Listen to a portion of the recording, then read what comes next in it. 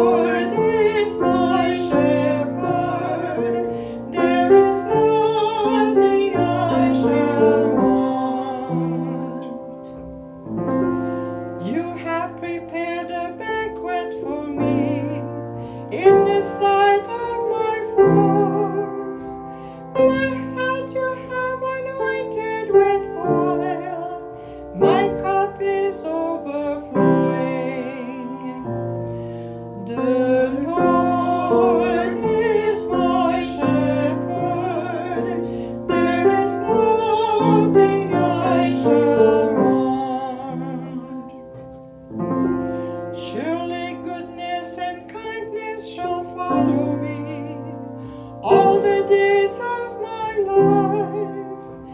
In the Lord's own house I shall dwell forever and ever. The Lord.